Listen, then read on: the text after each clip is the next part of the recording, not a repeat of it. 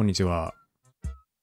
えー、っと、今日はね、ちょっと村の住民との会話を中心にやっていこうかなって思っていて、で、また立ち上げて数分ですね、置いといて、程よく住民がこう移動した後にみんなに会いに行こうかなって思ってたんだけど、そしたらね、俺ん家の前に、文ちゃんが来てくれた。さらにさらに、文ちゃんの他にね、ももち、ももちもね、来てくれてるんですよ。今、俺ん家の前に2人ね、来てくれている状態なので、ちょっとこれでやっていこうかなと思うんだけど。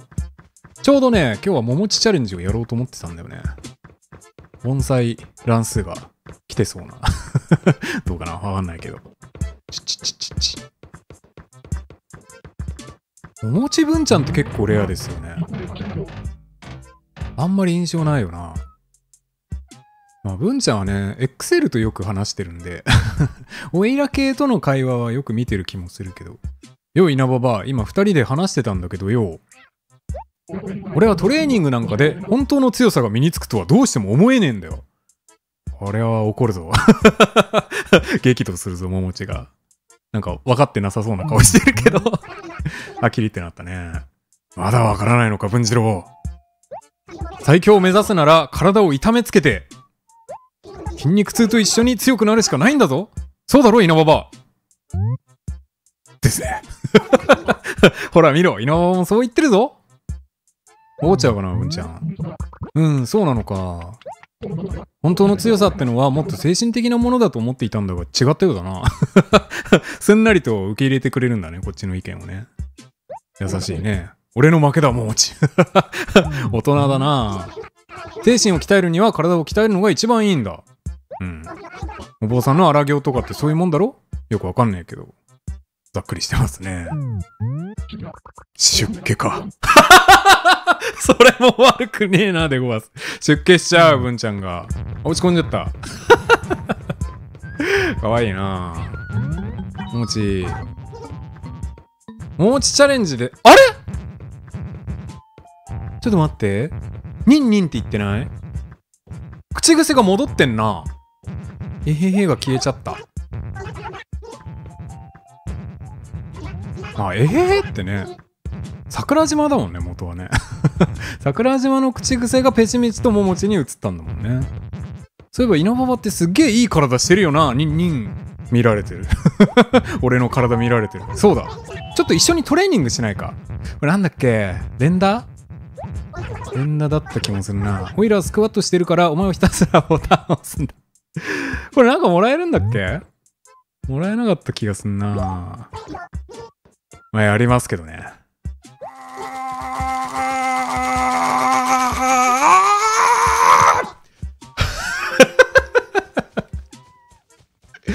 ド頭から。なに ?257 回これはいいんじゃないの？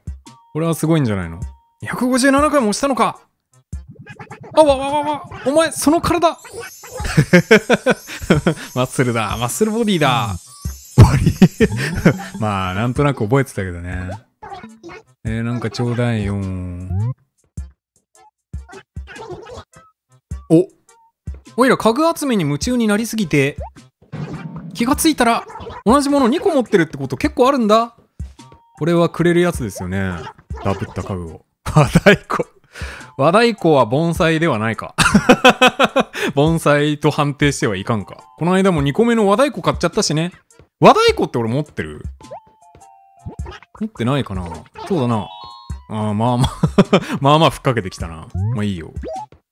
和太鼓ね。桃地っぽい家具ではあるかもしれない。おいら何かに夢中になると忘れっぽくなるんだよ。うん。あはいはいはい。ありがとね。和太鼓。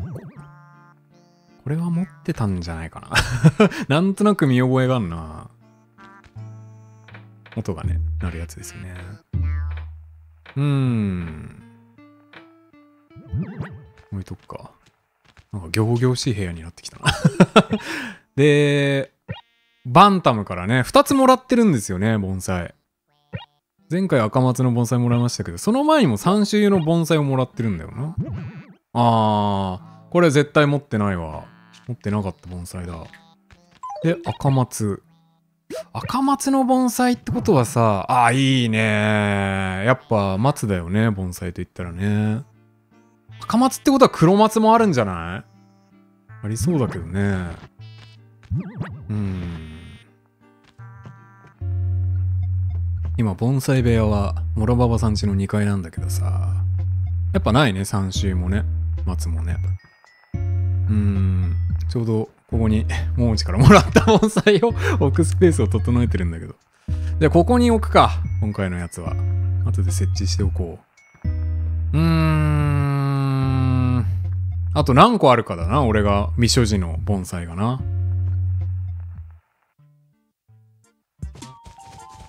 おメグスさんが来てるね。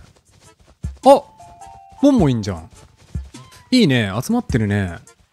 ブーケはいない？肝心のブーケがいないのか。あ入れるっていうことは、あー、室内にいんのか。ブーケちょっと外出てきてよ。どうかな少し待ってれば、出てきてくれるかな？こんにちは。あんたも部屋の模様替えってやってる？いろいろ試しているんだけどさ、どうもしっくり来ないのよね。あ、そうなの？しっくり来てないんだ。これなんかすすごい自信を持ってのこの部屋なのかなって俺思ってたわ。ブーケのセンスは飛び抜けているなって。日頃から感心してたんですけどね。いろいろと試行錯誤した結果のこの部屋だったんだね。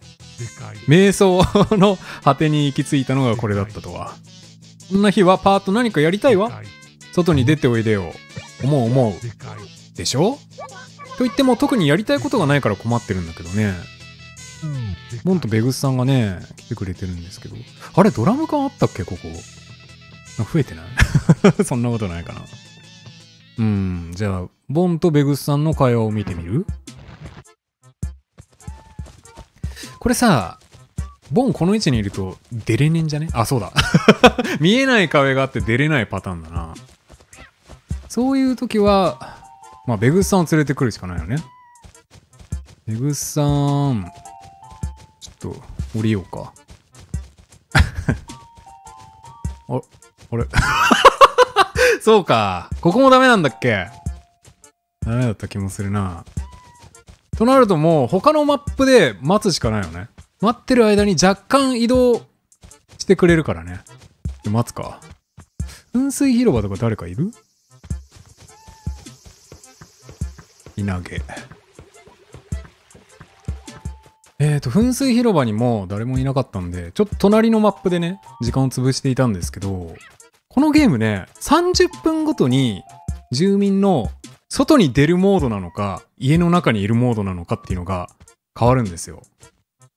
これで見てみると、ほら ほらブーケが出てくるでしょ?これでブーケを連れてって、ボンとベグスさんと会話してもらえばいいよね。いやー、知ってるよね。このゲームを知ってるよね。っていうか、ボンちゃんってさ、そんなに食べて太らないわけ？割とね、丸々している感じはありますけど。大丈夫だよ。僕はいくら食べても太らないタイプなんだ。これ聞いたことあるかな？やっぱ怒るよね。あら、そうじゃあアップルパイ100個食べてもらおうじゃない。ブチギレとるな。そうだそうだ。かわいそうだよか。まあじゃあ食べて。食べて、詫びを入れなさいよ。あれ？ブーケ君と稲川君。そんな痩せてないしね、ボンね。なんで怒ってるの？ブーケが怒っちゃった。じゃあ、ボンと話して時間を潰すか。ボンや。怒らすなよ、ブーケを。ボン見てるとさ、あの大吉の服を着こなせるブーケってやっぱすげえんだなって 思いますよね、なんかね。そういえば、稲葉くんの家のそばにいる埴輪っていい動きするね。これあの埴輪に関する会話って俺の家の前じゃなくても発生すんだね。あれいいよな。僕も欲しいな。なんかみんな欲しがるよね、あの埴輪。まあ、別にあげますけど。欲しければ。あの埴輪何なんだろうな。本当でも無理だよ。僕にあの埴輪扱えないよ。もともとね、家に備え付けられてた埴輪ですからね。せっかくだけど、やっぱりあの埴輪は君が持っているのが一番だと思うよ。うん。もうね、200パート以上やってることになるんですけど。あの埴輪について俺何も知らないなって 今ちょっと思いました。あ、いたいたいた。機嫌も治ってるね。始まりましたね。やっぱこの場所は何だろうね。すごい集まりやすい感じしますよね、住民たちがね。ベーグルちゃんってもみあげの長い人と短い人どっちが好みのタイプ？これなんか昔聞いたな。もみあげの話してたよね。誰だったかな？私系はベグスさんだった気もするな。えっと、もみあげはできればない方がいいですね。もみあげがないってどういうことなの ?2 ブロックっていうことなのかな？じゃあ眉毛は？チェッキ。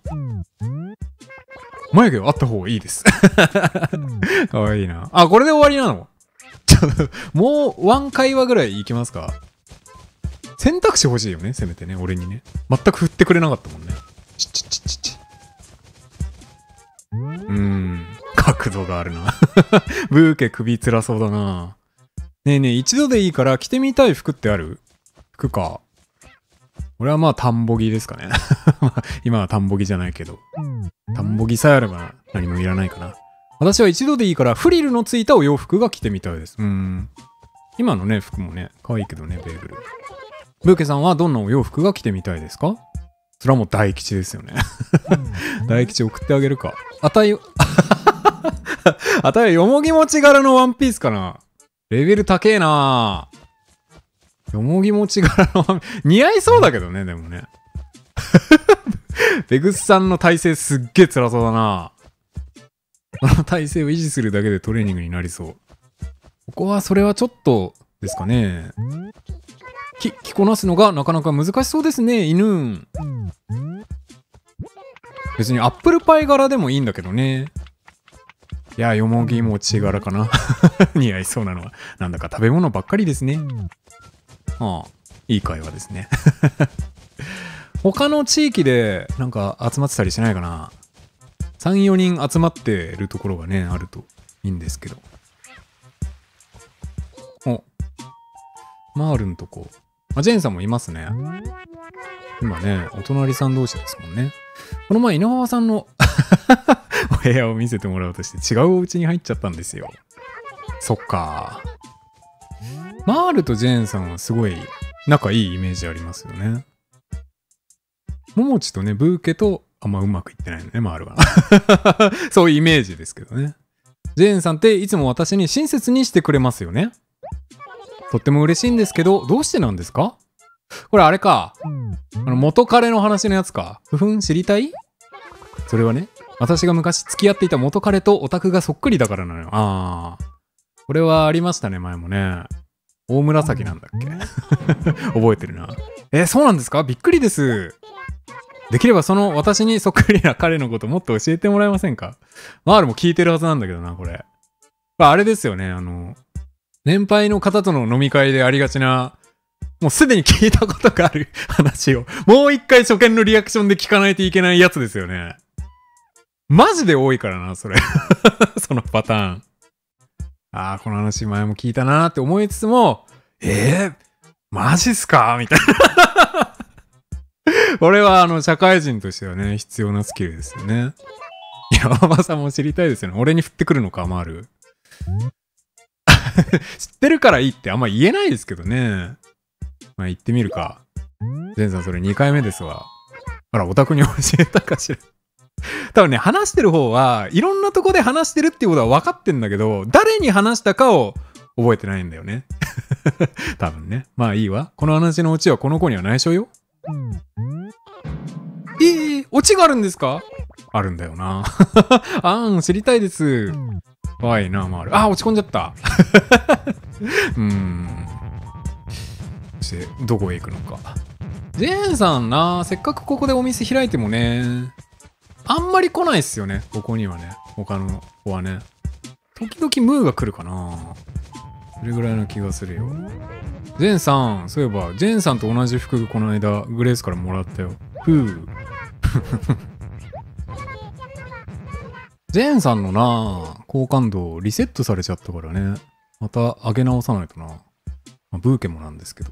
7月25日から毎朝6時に願いの泉に集合ようふん 朝6時なんだ。ラジオ体操ですよね。6時は早いなえ、知らないの？知ってるくせにしらばっくれてるんじゃないでしょうね。いや別にしらばっくれはしないけど。私だって行きたくなんかないのよ、うふん。本当ならその時間は夢の中だもの。まあ確かにね、寝てる時間ですよね。ていうか大概寝てるよな。6時だったらな。XL がさ、ラジオ体操の話すると大体みんな嫌な顔するって言ってたけど、本当だね。楽しみだけどな。